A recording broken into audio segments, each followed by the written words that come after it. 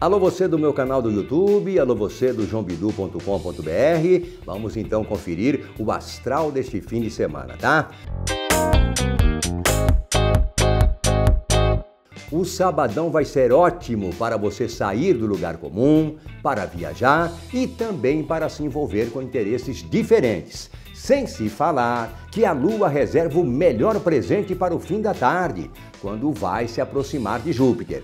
Os dois formam conjunção exata às 17h23, prometendo sorte e sucesso no amor.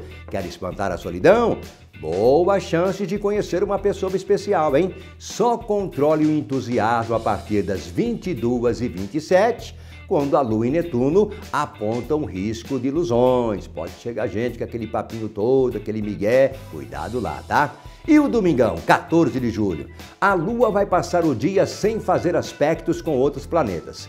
Agora, quem pode cortar o seu barato é o Sol, que fica a 180 graus de Plutão, recomendando mais jogo de cintura e menos teimosia neste domingão.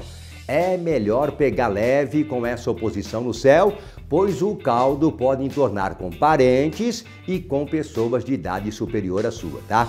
Mas a noite vai chegar, né, com novidades da Lua, que vai começar a circular em Capricórnio às 20 horas e 3 minutos, trazendo um clima de calmaria. Ela vai deixar o astral mais sério e discreto, inclusive na sua vida amorosa. Valeu? Um ótimo fim de semana para todo mundo. Um beijo, um abraço forte, saúde e sorte.